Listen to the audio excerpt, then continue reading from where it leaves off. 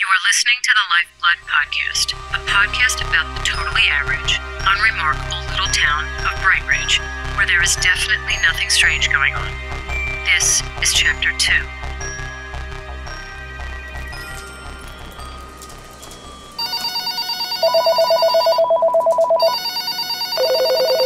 Mr. Elwood's office, please hold.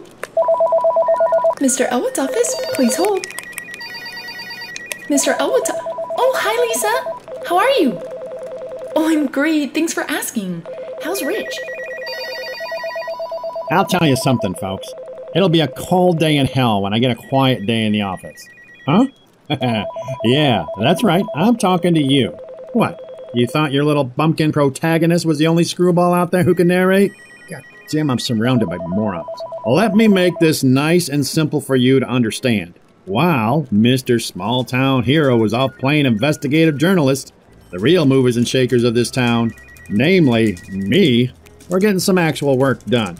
I don't even know why I'm talking here. I mean, this is just kind of pointless. I mean, it's just, I'm the only one that does anything. God damn it, where's my cigarettes at? All right, all right. And now I'm stuck here fielding 10,000 emails and two dozen phone calls a minute, all because a couple of moronic teeny boppers had to go in for the love of. what? What do you want? Who's this? Have the runaways been located? Located? Oh, is that what I'm supposed to be doing? Silly me, I've been out here singing Yankee Doodle all morning with my thumb rammed up my ass. You forget yourself, Elwood. Yes, right, sorry. Uh, just, yes. Yes, I have. Where are they? I believe they were brought into the local police station for questioning. That is unfortunate. It couldn't be helped. But I sent Masterson in to start on damage control. Just like the rest of this county's population. He's good with townies. And a reminder that EOS graduates can and do become well adjusted, contributing members of society. Uh, to some degree, anyways. I'll remind you, Elwood. This experiment was begun at your insistence. Anything that comes of it, including any financial gains or expenses or blemishes to the company's reputation, will be considered by the partners as directly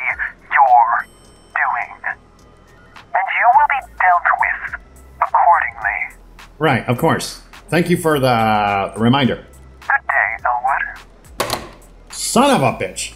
When it rains, it pours. Stephanie, get Masterson on the line. I need to speak to that imbecile. Yes, Mr. Elwood. The trouble with shareholders is that they collectively have a memory capacity of a single benzo addled concussed goldfish. I'm having some trouble hearing you. Sure, they want to lynch me for this mess, but they forget that I'm the one who launched this branch, the New Horizon Center, and every cent that the company has ever made from it in the last 15 years is thanks almost exclusively to me. Thank you. That's much better.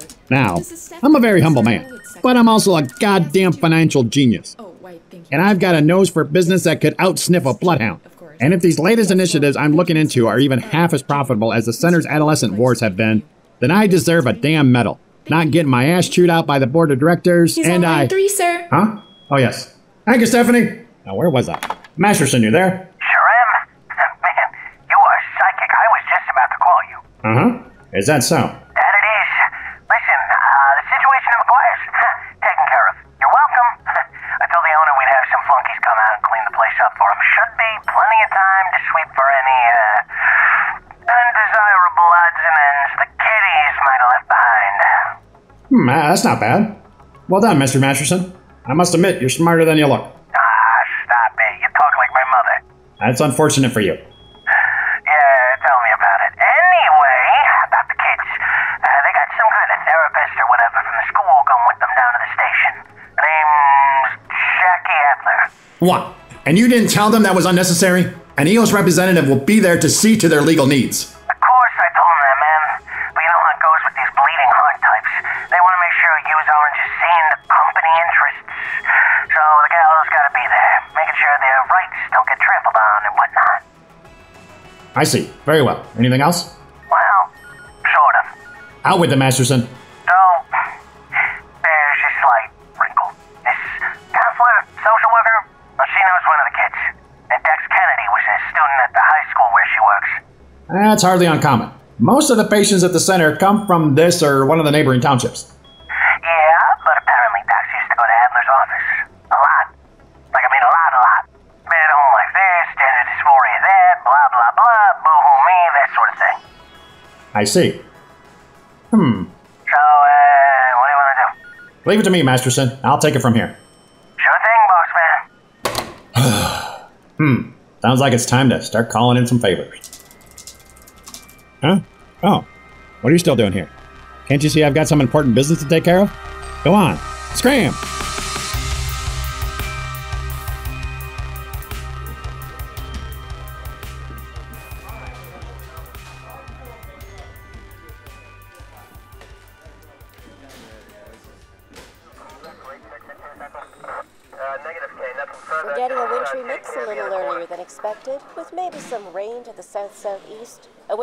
Watch has begun further north, and we're looking at a possible winter alert ourselves over the next few hours.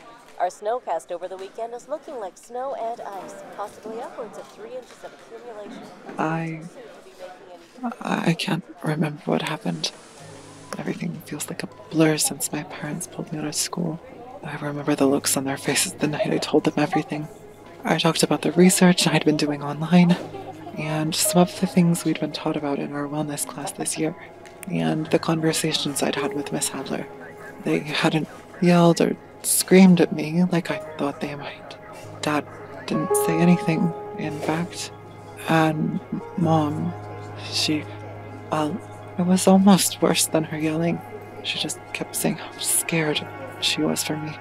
How worried she was that I was about to make a decision I'd regret. And then they'd each sort of gotten distant, or more distant than they always were anyway. For weeks, it was like no one in the house would even look at me.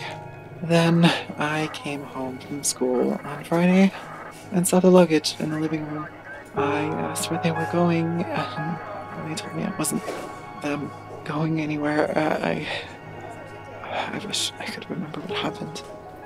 I stared at my hands. They were all cut up and bandaged. Officer Peterson had been very nice when we got out of his car and went into the station. He helped me clean up all the cuts and took me to his desk to put a few band aids on the really bad ones. He even took my handcuffs off.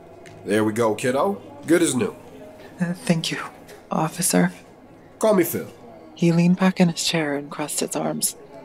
For a couple of seconds, he just stared at me. You know, you probably don't remember me, but we met before. We did? Yeah, about a year and a half ago. I. Oh, Yeah, I was one of the officers dispatched when your. I don't know, I guess it was your brother? half brother. Right.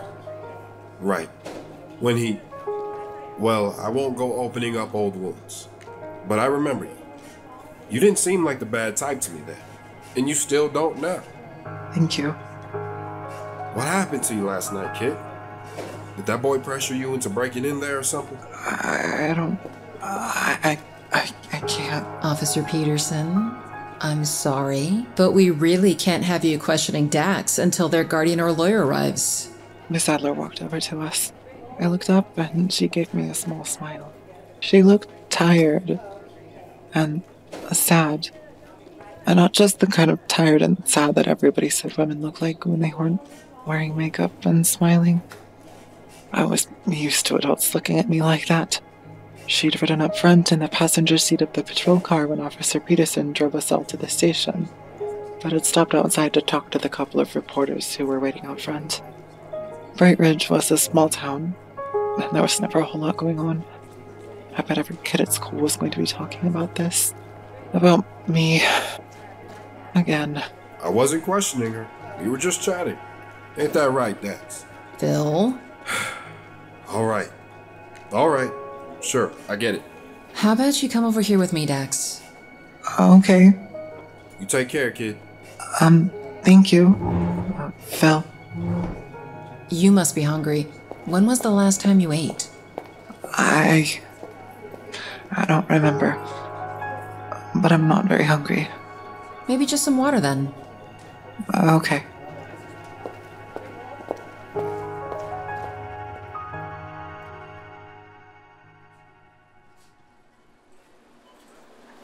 Come on, come on, come on, come on. I stood in line at the grocery store, anxiously tapping my foot while trying to look up how long AAA batteries last for in old lecture recorders. Of course, the public Wi Fi at the strip mall was as overburdened as a public defender's office on the Monday morning after Halloween, so I wasn't getting anything. In aggravation, I stuffed my phone back in my pocket and tried not to glare at the woman ahead of me in line, who seemed to be having trouble getting her rewards card to scan. Jesus Christ, lady. Excuse me? Uh, nothing. Nothing. Uh, sorry. Thank you for your patronage. Have a wonderful rest of your day. As I started unloading my cart onto the conveyor belt with the sort of rushed excitability a child had on a Christmas morning, the cashier girl began scanning the items with all the passion of a reanimated corpse. No, seriously. You might think your hometown has it bad when it comes to vacant eyed teen cashiers, but you've got nothing on our award winning customer service standards here in Bright Ridge. Of course, the awards were for worst possible service, but we left that part out of the brochures. You could always tell when someone was a recent EOS graduate. They had these hollowed out, lifeless expressions on their faces, with heavy bags under their eyes and pale skin that almost seemed to glow under the cheap fluorescent lighting. Damn. I thought as I watched the total climb higher and higher with each item the girl lethargically scanned. Maybe this was the universe's way of punishing me for taking advantage of a friend. Most nights, I just ate something at McGuire's, which thankfully Sean never charged me for or took out of my pay. And on nights I was off, I was something of a TV dinner connoisseur.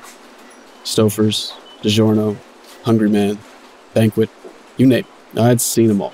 I once considered starting a blog where I rated and reviewed them, but figured it'd be too depressing. And rather than knocking back a bottle of Motrin, just abandoned the idea altogether. A winter storm watch has begun further north. and 224.75. Christ. Forgot how expensive a good meal actually costs. The cashier had no response, just stared at me vacantly as I took out my credit card and scanned it, praying it wouldn't get denied, because wouldn't that just figure? I'd have to do a little rebudgeting to make sure I could pay my rent on time this month, but it wouldn't kill me. Anyway, at least it would be nice to eat something that wasn't microwaved for once. Not to mention spend some time with Jackie, of course. Reconnected when she'd moved back to Bright Ridge to get her master's, but once she started working three jobs, we'd fallen off each other's radars for a while. As I loaded my bags back into my cart, I looked at the cashier. How long ago were you at the center? What? EOS. You were there, right? Yeah. How long ago? She shrugged. Great. That's helpful. Just take a guess. Hmm. A few months ago, maybe? What was it like? Boring. What did you do? Hey, pal, this ain't a singles bar. She's like 10 years too young for you anyway. Keep it moving. What? No, I wasn't. Ah, never mind. Thank you for your patronage. Have a wonderful rest of your day. Yeah, I can tell you really mean it too. Such conversationalists. How do they do it? Jeez, what we need to throw in a little emotion into it? I mean, come on, minimum wage isn't that bad. I mean, it's pretty bad, but uh, you know, you're right. You have, yeah, you should probably just be like this, honestly. Uh, toodles.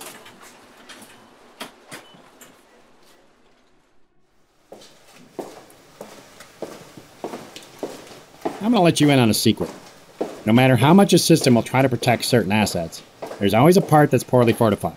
Take children, for example. You might think, given how they're the future and all, that they would almost be universally difficult for unsavory characters to get a hold of. More trouble than they'd be worth, you might say. And you'd be right, to a certain extent. It's why Child Protective Services exist. It's why FBI background checks and certifications are required to work with them as teachers, counselors, tutors, and the like. But if you find an industry that isn't taken seriously, that no one wants to bother thinking about long enough to properly regulate, that's you're in. Which is why, technically, EOS Behavioral is a life coaching facility. Now, of course, there's still some additional headache when you go involving minors in your corporate level get rich quick scheme. But grease the right palms and kiss the right babies, and the world is yours. Just the same, it's always good business practice to diversify, diversify, diversify. Good afternoon, Mr. Elwood. Oh, excuse me for a moment. Hmm, yes, good afternoon. You wouldn't happen to know where Dr. Freeman is, would you? Hmm. I believe at this time of day she would be in the main compound, supervising the bleeding. Ah, yes, of course, thank you. My pleasure. As you were. As I was saying, children can make the life of an illegitimate business very difficult. For one of two reasons. Reason one is the government oversight, as we just discussed. Reason two is the people that you have to hire who actually want to work with the little buggers. Those people, by and large, have good hearts. They're empathetic, loving, morally upstanding, and care about the future of this great nation. It makes me sick. However, as an elementary schooler can tell you, there are two varieties of child care professionals the underachievers and the nitwits. The underachievers are a kind whose mommies and daddies paid for their child to get their undergraduate education at a party school, and the teaching degree was the easiest to pass while hungover from the ragers the night before. And the nitwits are the brainless airheads who spent too much time during their old educational experience huffing glue in the back of the class or smoking pot in the restrooms to have mentally evolved much past the age of their charges. The blind leading the blind, as it were. Those are the type of professionals who we hire at EOS. People who don't care enough or are too stupid to ask questions.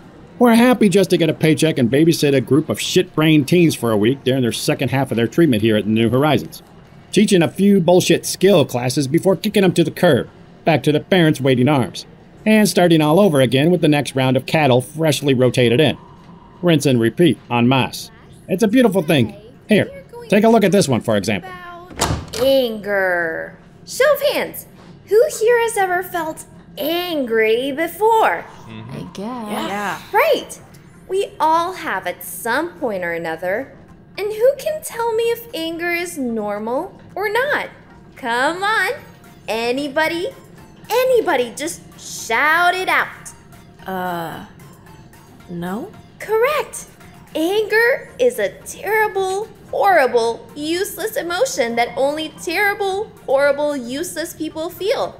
So, when we're feeling angry, what should we do instead?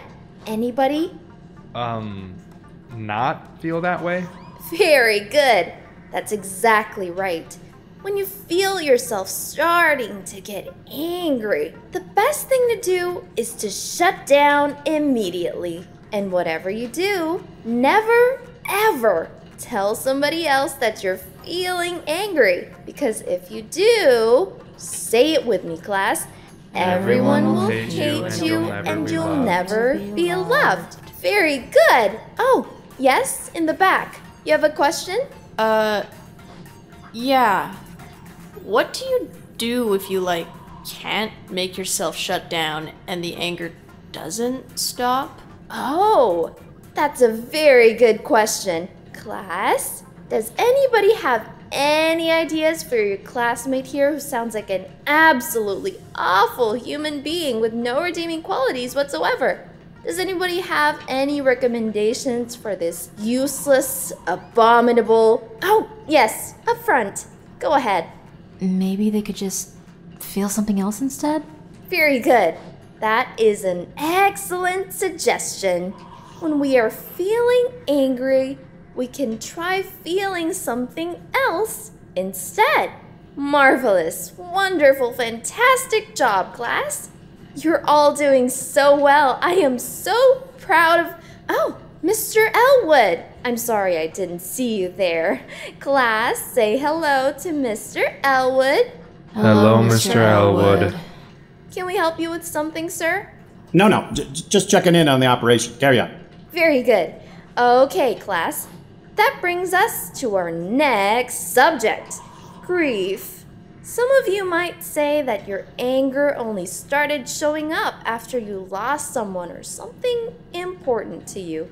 But remember, that is a miserable excuse. Should under no circumstances feel that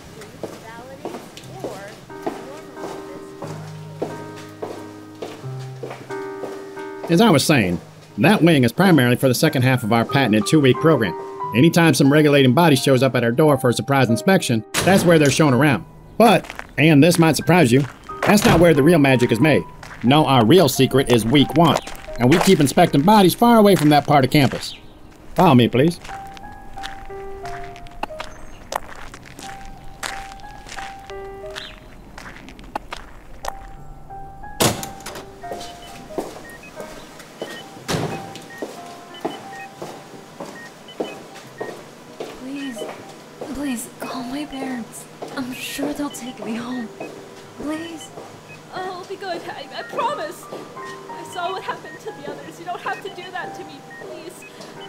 Good. No, you can't. Let me, let me go. Stop struggling, please. We've been over this. Struggling only makes it take longer.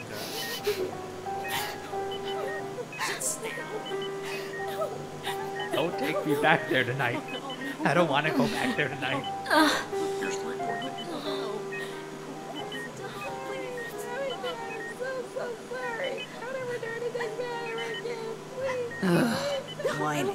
Always the one. When has whining ever gotten you anywhere? Any time before? I just love the sights and sounds of unscrupulous financial success.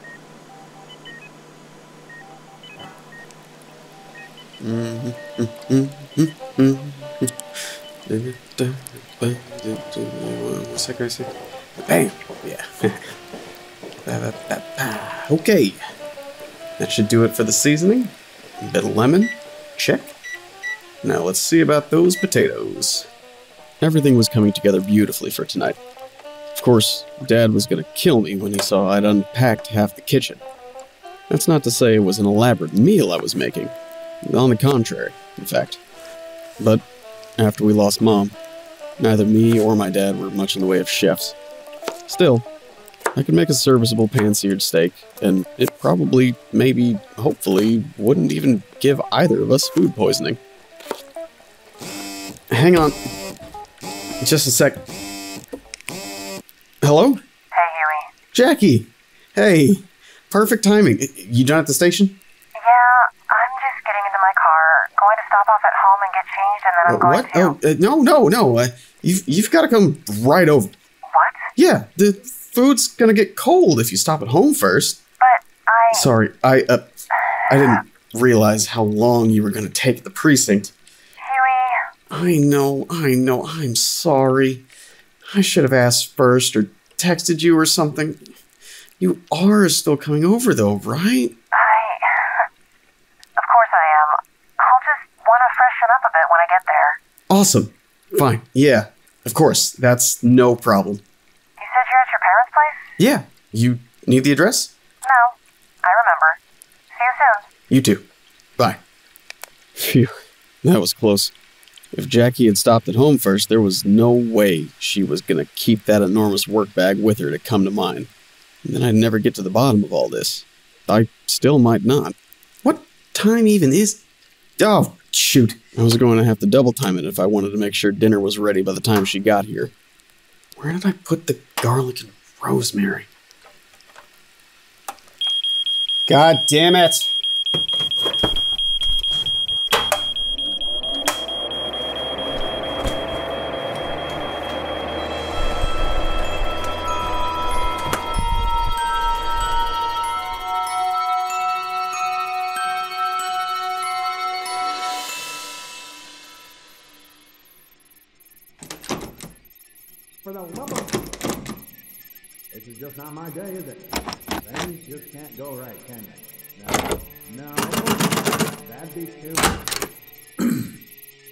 Dr. Freeman! Dr. Freeman! Not quite. Son of a... Dr. Luthor, you, uh... You startled me. Come to see our lovely patron, have you? Not precisely. Dr. Luthor was a brilliant beanstalk of a man who, despite a perfectly polite presentation, unwavering loyalty to the project, never failed to give off a distinct impression that he would like nothing more than to strap you down to an operating table, dissect you alive, and then taxidermy your corpse to dress up in demeaning wardrobe to place in impolite poses around his home. I've never been to the man's house personally, despite numerous, slightly too friendly invitations, so I, I could not say for certain if this was or wasn't, in fact, a hobby of his. It did not help his reputation that his supervisors kept going missing under increasingly suspicious circumstances. Luthor was technically the senior most member of the R&D department at EOS, but given his utterly sociopathic nature and the general sense everyone got while in his presence that their body was suddenly covered in live insects, Dr. Freeman was brought on board about six years back to supervise the department and report back to both myself and the partners.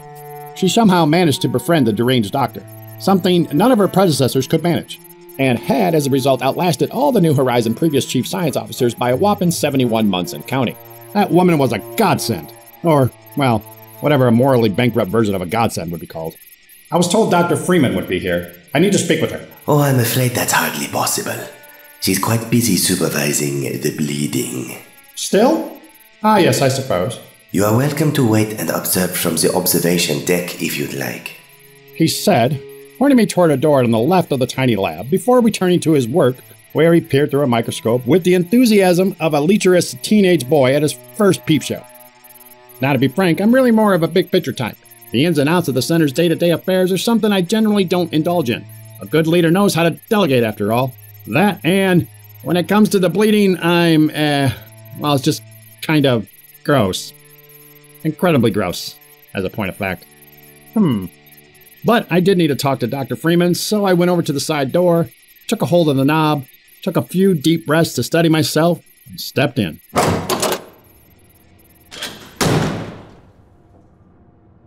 I stepped up to the reinforced glass and pressed one of the two small buttons on the side wall, making an active effort not to look down at the scene below in the process. The sounds of the operating theater were fed through the sound system, which crackled and sputtered something hideous. And keep an eye on the blood pressure and heart rate. We had some odd readings yesterday afternoon. Yes, doctor. Good, good. and good afternoon, Frank. I'm surprised to see you here. Come for a science lesson, have we? I'm afraid it's a little more complicated than a frog, this. But I do commend your enthusiasm. I reached out and touched the second button on the small panel. Dr. Freeman, good afternoon. I take it this isn't a social call? I'm afraid not. A pity. Well, we were just about done here. I'll join you shortly. Very good. I switched the intercom system back off and went back into the small lab adjoining the observation deck, where Luthor's company just slightly won out as a preferable of the two possible stimuli to be subjected to while awaiting an audience with Dr. Freeman. I busied myself checking emails and avoiding answering Dr. Luthor's numerous inquiries as to my hobbies, interest, or likelihood to be lost while out hiking without having told any loved ones my whereabouts. Eventually, I heard the door leading in from the operating theater open up, and looked up and saw Dr. Freeman stepping through. What a pleasant surprise! I can count the number of times you visited the main lab on one hand. To what do I owe the pleasure? You've heard about the incident in town? Naturally. So the procedure was a failure, I take it. That remains to be seen. How's that? Dr. Freeman put her hands behind her back and paced the room with an almost wistful elegance as she considered the question. It was like watching storm clouds gather. Just because an experiment failed to disprove its null hypothesis does not make it a failure. Isn't that the literal definition of an experiment failing? You just used the word fail twice in the last sentence. Really, you should try not to be so narrow minded, Frank. If every failure were only a failure and nothing more, then there would be no successes in the world. I don't understand. Hmm, no, of course you don't. Let me see. Failure is inevitable, yes? I mean, on some level, we all agree to that, don't we? Be it while learning to walk, or while solving a complicated mathematical proof, or when learning to fly an airplane or tame lions. Though on those latter two, you're liable to perhaps only experience it once. But amidst all, mistakes are likely, if not outright necessary, to happen. Not all together, and certainly not all at once. Also, often not even by the same people. In fact, I wager that it'd be very unusual indeed to find somebody who's failed at all of them. Though, I suppose that with the right hereditary predisposition to risk taking behaviors, it might align in such a way to actually increase one's chances to both attempt, and therefore possibly fail, at both pilotry and lion taming. And then, of course, I've done it before. Though that's really besides the point, and I do wish you wouldn't go about sidetracking me. I didn't. Very good. Apology accepted. Now, as I was saying, success, on the other hand, very much unlike failure, is never a guarantee. Therefore, for an improbable thing to occur, or even just a thing that is not absolutely certain to happen, it follows that inevitable things would have had to have taken place at some point along its process. Do you understand now? With one glance at the look on my face, which was surely about as stupid as a shoe sale at a paraplegic convention, Dr. Freeman had her answer and scoffed in resignation. We've been at this for how many years now? Six?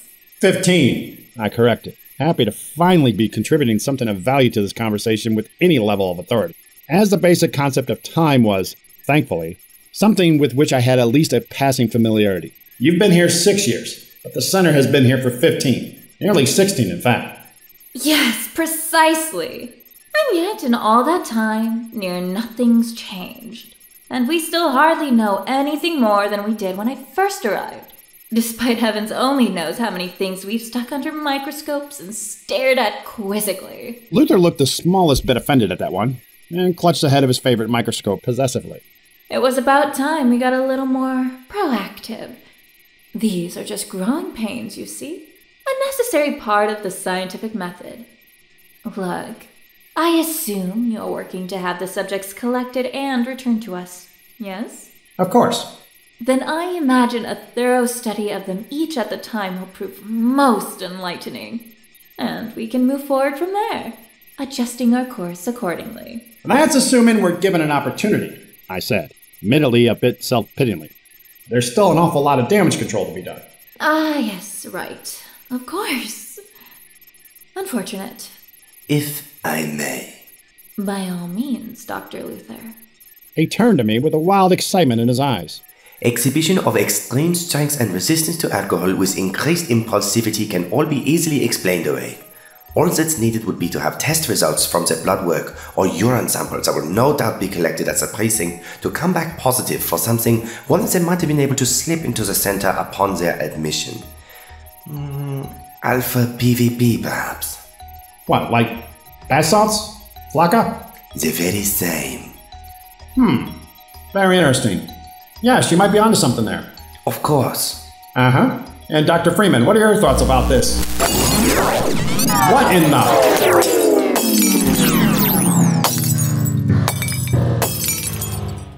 What in the hell? Ah, it's that damned winter storm. Must have downed a transmission line further north towards the city. Is the source secure? Yes, ma'am. Is it stable? It appears so. Good. Get the backup power running from the hydrogen fuel cells. I need the operating theater powered up immediately. We cannot risk a breach in containment. Like you have to tell me. I'm the one down here with the thing. I'm sorry to cut your visit short, Frank, but. No, no, I understand. Carry on. I'll keep you informed. Please do. Dr. Freeman exited to go and help her assistant, leaving Luthor and I in the powered down lab. I moved toward the exit and was surprised when he didn't follow. Dr. Luthor? Yes, Mr. Elwood. Are you just gonna stand there? Why, yes, sir. The power is out after all, and it would be quite ridiculous for me to attempt to work in the dark. Though I thank you for asking. Well, yes, but couldn't. I mean, uh, you, you know what? Never mind.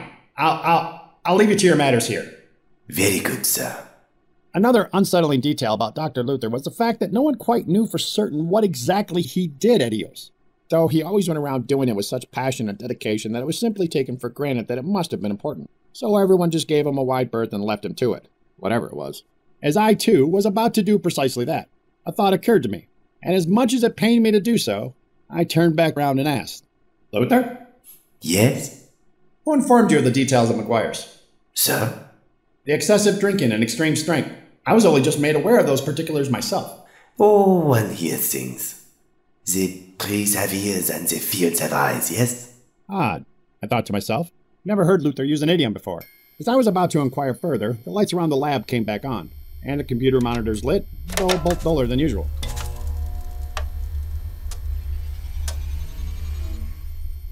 It seems they were able to switch to the backup generators. Good. Yes, that's a relief. While not what you may have expected initially, there is promise to these reactions as well, wouldn't you agree? What, with the power? With the test subjects. How do you figure? The children.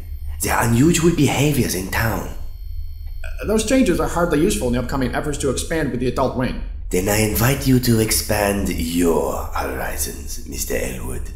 No uh, pun intended. Think of the benefits to such a serum, especially should it prove true that the children have retained their base personalities. We're not doing pharmaceuticals. No, no, no, no, no, no, no, no, of course not. But even just for internal or personal use, the possibilities would be near limitless. Hmm. Interesting. Interesting. Yes. Uh, Luthor? Yes, Mr. Elwood. Could you um have Dr. Freeman keep out a few vials worth of the uh Eco, sir. Yes. And just have her get someone to deliver to my office? Of course, sir. Thank you, Dr. Luthor. Oh, it is my absolute pleasure, sir. There were those insects again. Now, if you'll excuse me, I have to make a call.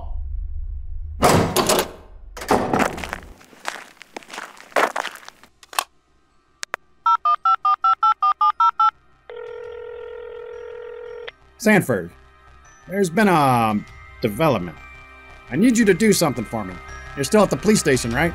Good, good. Now listen carefully. You've been listening to Lifeblood, Chapter 2, an original audio series written, directed, and produced by Akiva Vita.